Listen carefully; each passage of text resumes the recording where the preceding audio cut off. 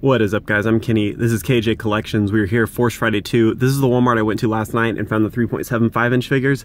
Let's go in and see what they've got. I'm looking for that Chase Porg still. The dude at GameStop uh, hadn't found any of the Star Wars Pops yet, so let's hope that they are in a shipment and he's opening them and he said he'd call me if he finds the Chase. Hopefully he's telling the truth, mad props to him if so, and uh, send some uh, force luck my way. Hopefully I find that Chase at GameStop or in here, here we go. All right, here we are at Walmart. They put a shipper out in the middle. Uh, no Porg Chase, sadly, but they do have three of these exclusive. So there you go. Um, who did we not see last time? We didn't look at Luke, so here he is. Honestly, doesn't really look like him in the beard, I don't think. And then last time uh, Chewbacca I didn't show, he has a, he's holding a Porg, so that's kind of funny. But yeah, people bought up the Pops pretty quick. Oh, and then here's some more. Oh my gosh, here we go, Star Wars Cocoa Puffs and Cookie Crisp.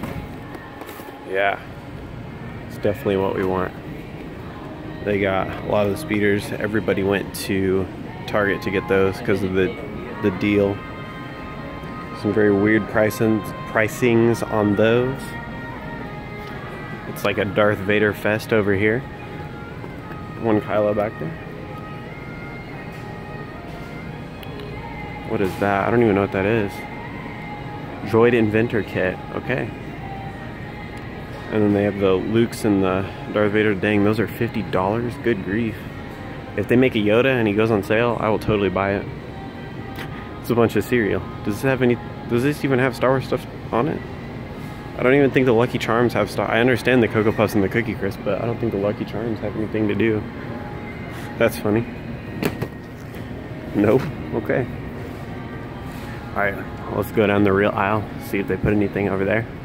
Kind of doubt it, but who knows? Oh, going this way. They did stock the Legos, so there's that. And then the only thing that was different from last night is this shelf right here. They got Kylo Ren's. That's the only ship in that scale right now. Here's the UPC. Focus. Go. And then I think they had, yeah, they had the A-Wing and the police thing at Target. Here's the speeder, ski speeder or whatever it is with Poe. Poor Poe, he never gets a good action figure. His Black Series doesn't look good either. And then they, that stuff was out. I think they put this stuff out. It's new.